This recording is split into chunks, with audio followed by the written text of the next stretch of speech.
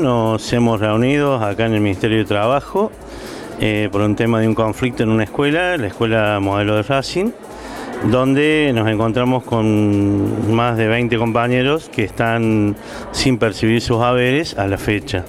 Siendo 26 de julio, todavía prácticamente 26 de julio, no han percibido sus haberes. Por lo tanto, tenemos una audiencia de conciliación con las autoridades de la escuela para ver si eh, podemos llegar a un acuerdo y se les abona el salario a estos compañeros. Estamos acá y bueno, para evaluar bien cuál es la situación, para ver qué respuesta nos va a dar la comisión directiva de, de la institución y según esto vamos a ver qué medida vamos a tomar junto con todos los docentes. Ellos serán los que van a decidir cómo seguir adelante.